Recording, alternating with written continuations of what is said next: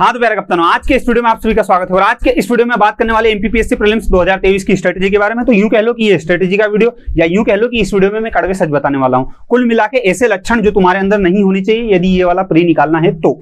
अगर वो लक्षण हो भैया तो तो ये प्री नहीं निकलेगा। इस बात को अपने मन को बहुत अच्छे से समझा दो कि प्री नहीं निकलेगा। ठीक है? स्पष्ट है। वो क्या है ऐसा, मैं तुमको बिल्कुल एकदम एग्ज़ाम्पल दूँगा ना ऐसे में हवाबाजी में छोड़ने तो तुम यहाँ जरा बोर्ड पे आप दो मिनट अगर धैर्य नहीं है तो बिल्कुल जा सकते हो, लेकिन मेरा मानना है कि वीडियो देखो, तुमको बहुत अच्छा कंक्लूजन मिलेगा। तर्क के आधार पर ऐसे नहीं कि कुछ भी, हर कुछ हवाबाजी में, ऐसा कुछ नहीं होता बेटा। देखो क्लियर बात बताऊँ मैं, एक, ये दो ये तीन, भैया, ये डिज़ाइन क्यों डाल रहा हूँ? मज़ा आ रहा है, बहुत दिन हो गए, डिज़ाइन नहीं डाली, रंगोली नहीं बनी। अरे, ये तीन रीजन होते हैं। ये बताओ, अभी आने वाली एमपीपीएससी प्रीलिम्स निकालने के लिए तीन की चीज़ें क्या चाहिए? मैं बताता हूँ तुमको, तीन चीज़ें क्या चाहिए? पहली चीज़ तो क्या चाहिए? कोचिंग। अब यहाँ पे कोचिंग का मतलब क्या है, मैं बता दू तुमको। या तो कोचिंग कह लो, या यूँ इसको कोर्स कह लो। या किसी कोचिंग का सब्सक्रिप्शन कह लो कुछ भी कह लो मतलब वीडियो फॉर्म में भी देख रहे हो तो भी वो कोचिंग मानूँगा मैं क्योंकि वो एक्चुअल में घंटे तो बर्बाद कर रही है ना आपके तो वो कोचिंग ही हुई या यूँ कह लो कोर्स तो भी वो कोचिंग ही हुई। तो कुल मिला के वीडियो कोर्स कह लो या कोचिंग में जाके टाइम वेस्ट करते हो वो कह लो ठीक है? तो एक कोचिंग तुम्हारे लिए ज़रूरी है एग्ज़ाम निकालने के लिए। ज़रूरी है ज़ाहिर सी बात है अगर नहीं पढ़ा हो पहले से तो, तो एक चीज़ तो ये हो गया भैया ठीक है हाँ मानते हैं। हो एग्री जिसके बाद दूसरी चीज़ तुम्हारे पास आती है भैया क्या? दूसरी चीज़ आती है बुक हाँ भैया, यह बात भी सही की तुमने बुक तो पढ़नी पड़ेगी, बहुत अंदर की बात बता दी। अरे, ये सब मालूम है तुमको, मेरे को पता पर जरा लास्ट में तुम जाके तुमको खुद को लगेगा कि हाँ यार, बात जो बोली वास्तव में थोड़ा तर्क के आधार पर बोली, हवाबाजी नहीं करी। ठीक है? ये हो गई बुक जिसके बाद में अपन बात कर लेते हैं, ये आ गई अपने यहाँ पे ऑब्जेक्टिव बुक ठीक है? तीसरी चीज़ यही चाहिए ना? ऑब्जेक्टिव बुक चौथी चीज़ और चाहिए। क्या चाहिए? आ रहा क्या दिमाग में? नहीं आ रहा? मैं बता देता हूँ। ठीक है? चौथी चीज़ अपने को क्या चाहिए यहाँ पे? टेस्ट अगर मैं बोलूँ कि ये आने वाली जो प्रीलिम्स है, इसको निकालने के लिए तुमको क्या चीज़ें चाहिए? चार चीज़। सिर्फ़ गिनती की चार चीज़ चाहिए। अगर ये चारों चीज़ तुम्हारी कंप्लीट है तो तुम प्री निकाल सकते हो। लेकिन अगर ये चारों अभी कर रहे हो आप, अभी चारों कर रहे हो तो ये मान के चलो कि आने वाली प्री तक तुम्हारा सिलेबस भी कंप्लीट नहीं होगा। चारों कर रहे हो तो। मैं बताता हूँ कैसे भैया तुम इतने आधार पर कैसे कह सकते हो? तुम्हारे पास दस यूनिट है, ठीक है? घंटे कितने तुम्हारे पास? चौबीस घंटे। मुझे पता कोई इतना माई का लाल नहीं होगा कि चौबीस घंटे में चौबीस घंटे ओंदे हो जाता होगा। इतनी बड़ी बल्लम तो कहीं की नहीं होगी यहाँ पे।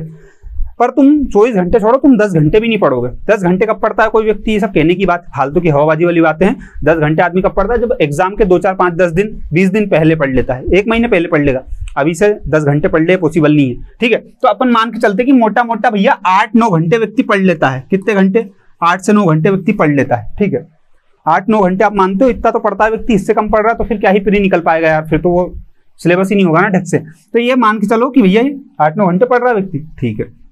अब आठ नौ घंटे अगर व्यक्ति पढ़ रहा है तो तुम अभी क्या क्या चीज़ें कर रहे हो? कोचिंग भी कर रहे हो ये पहला वाला ऑप्शन तो कोचिंग को लगभग अब थोड़ा सा बुरा लगे तो भैया कोचिंग का नाम बता दो।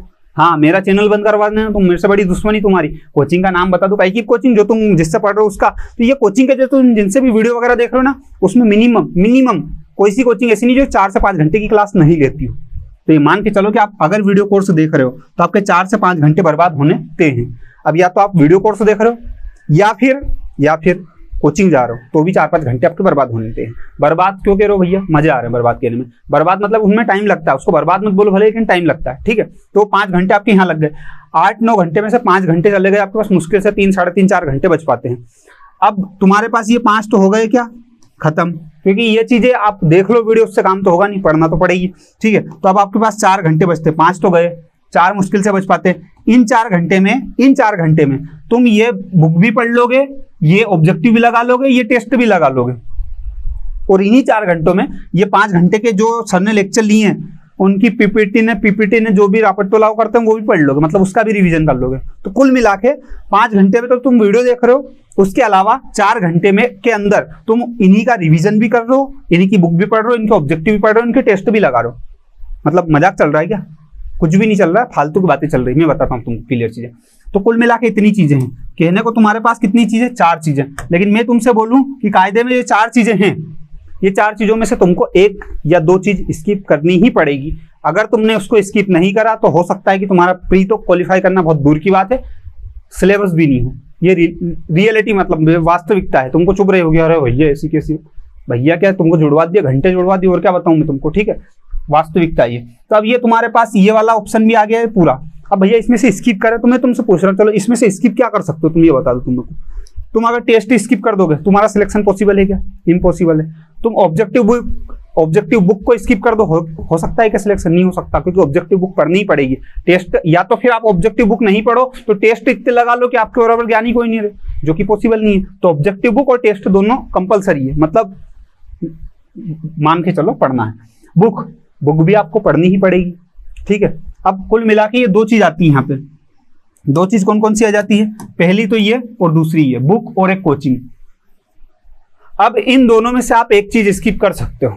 अगर इन दोनों में से एक चीज़ स्किप करोगे तो तुम्हारा काम हो जाएगा। तुम्हारा सिलेबस भी हो जाएगा, तुम्हारी चीज़ें भी हो जाएगी। ये चीज़ें बिगिनर लोगों के लिए पहली बात तो मैं ये बता दूँ, जो होशियार है, जिसने पहले तीन साल पहले प्री का सिलेबस कंप्लीट कर लिया, वो यहाँ नेता मत बनना। और ज़्यादा नेता बनने का शौक है तो कॉल पे डिस्कस करो ना, मैं पूछता हूँ कुछ ना कुछ तुमसे फिर। फिर करें अपन बात, ठीक है? तो ये चीज़ है कोचिंग और ये आगे बुक अब इन दोनों में से एक चीज़ तुम स्किप करोगे ना, जब जाके तुम्हारा सिलेबस पूरी चीज़ें सही स्टार्ट होगी। क्योंकि देखो बुक को भी तुमको चार पाँच घंटे देने हैं और कोचिंग को भी चार पाँच घंटे देने अगर चार पाँच घंटे दोनों को दे दोगे तो दस घंटे के ही बराबर होगा। फिर कब ऑब्जेक्टिव लगा लोगे, कब टेस्ट लगा लोगे? ये वास्तविकता है। स्वीकार करने वाले स्वीकार कर पाएगा। हवाबाजी वाले को तो कुछ नहीं, इस बार फोड़ देंगे फिर हाँ फोड़ दें। अरे काय से पत्थर से फोड़ दो काय से फोड़ दो, पढ़ना पड़ेगा नहीं तो वो चीज़ आ जाती है। तो कोचिंग और बुक इन दोनों में से एक चीज़ तुमको स्किप करनी है। अब तुम देखो, मैं बताता हूँ। जो बिगिनर लोग हैं, जिनने कभी बाप दादा जमाने में आज तक प्री नहीं पढ़ा है, उन लोगों को अगर स्किप करना है तो बुक वाला पोर्शन स्किप कर लो या तो आप। क्यों? क्योंकि भैया, एक बार आपके जब कोई कॉन्सेप्ट फैक्ट बताएगा तो समझ में तो आनी चाहिए। डायरेक्ट बुक पढ़ोगे दाई जी को सुननी पड़ेगी क्या चल रहा है। ठीक है? तो अगर जो बिगनर लोग हैं, उनको मैं सजेस्ट करूँगा कि आप बुक वाला पोर्सन जो है, वो स्किप कर दो।